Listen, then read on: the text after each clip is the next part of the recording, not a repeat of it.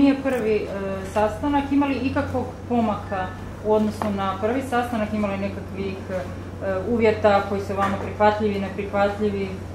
Dakle, ne iznosim e, detalje sastanaka, ali mogu vam reći da ništa od onog što je što je na stolu, o čemu smo razgovarali, nije neprihvatljivo niti jednoj strani.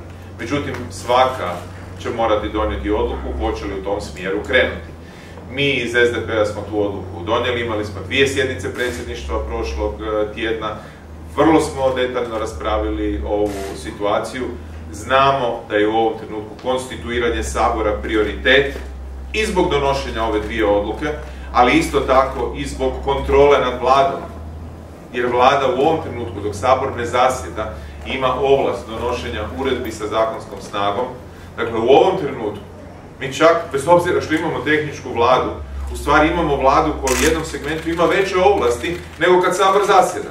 Što je ironija, ali je naprosto tako.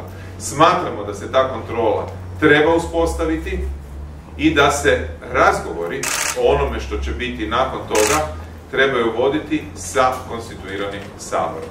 Jer u tom trenutku Hrvatska ima one zastupnike koje su građani izabrali da čine ono što je jedan dio njihovog posla.